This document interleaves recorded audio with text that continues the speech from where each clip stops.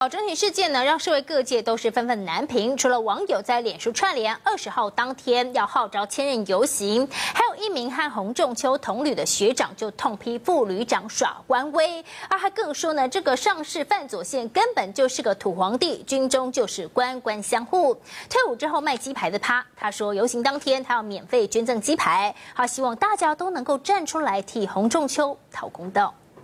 非常气愤，因为。我是在五四养退伍的，然后我知道这个是很硬的单位，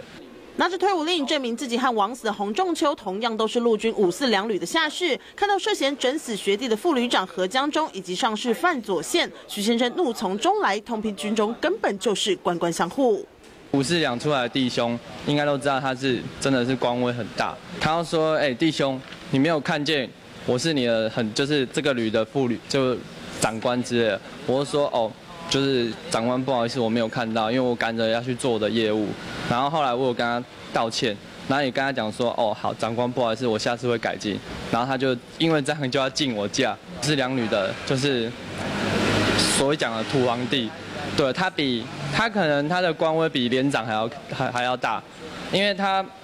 算是士官长，也算是当十几年的嘛。然后十几年，他应该在里面一些。跟上面的长官啊，或者什么都交情都交得很好，只要他一句话，我相信应该，就算官阶比他大的人也不敢对他怎样。军中的黑暗让不少人唾弃洪仲秋枉死，更让网友发动游行，在二十号当天走上街头。活动发起短短四天，就有一万七千多人按赞，而且参与的人数还在不断攀升当中。退伍三年多，在新北市开了三家鸡排店的许先生，也要共襄盛举。我也是出一百份鸡排，对，然后让大家去游行的弟兄，就不管我的学长、我的学弟们，能吃的吃得到我的鸡排，然后也不要饿到，然后也要为红学弟找出真相大白。中天新闻王成伟、黄佩华新北市报道。